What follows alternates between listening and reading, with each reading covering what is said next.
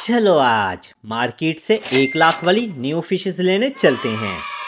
तो पहले मेरे फ़िश टैंक में गोल्ड फ़िश फिर चमकीली फ़िश फिर शार्क फ़िश और अब स्नो वाइट फ़िश हमें छोड़ के चली गई। और अब हमारा फ़िश टैंक बिल्कुल खाली सा लग रहा है। तो चलो आज भाई के साथ फ़िश मार्केट चलते हैं। तो इस शॉप में red head gold fish guppy fish और भी ढेर सारी न्यू फिशेज आई हैं। मुझे ये रेड हेड गोल्ड फ़िश ज़्यादा अच्छी लगी है, लेकिन इसका एक पेयर ही छह हज़ार रूपए का है। तो आप कमेंट में बताओ कि मैं इनमें से कौन सी फिशेस घर लेके जाऊँ।